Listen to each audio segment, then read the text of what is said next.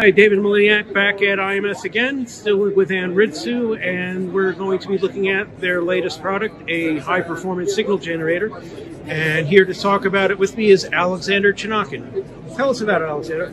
Hello everybody, I am Alexander Chenakin. I am the director of R&D company and this year the beautiful place in Denver we are very glad to uh, present our new very exciting product, rubidium signal micro, microwave signal generators that covers 2 to 20 uh, well actually 9 kilohertz to 20 and 43 and a half gigahertz with amazing, fantastic performance.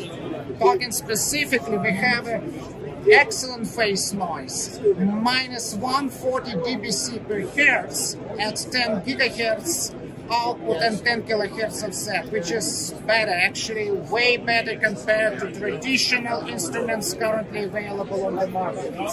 And it also has a built-in uh, atomic uh, clock which provides ultimate stability. So the signal purity and uh, frequency stability are two main uh, features of this amazing product.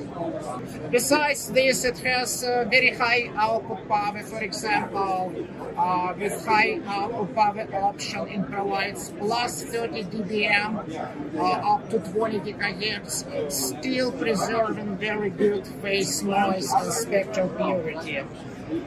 Once again, I'm very glad to present this, uh, uh, I, would, I would say, our flagship product, and I'm really, I'm really sure it will be very successful in the marketplace. Thank you, everybody. Thank you, Alexander. Thank you.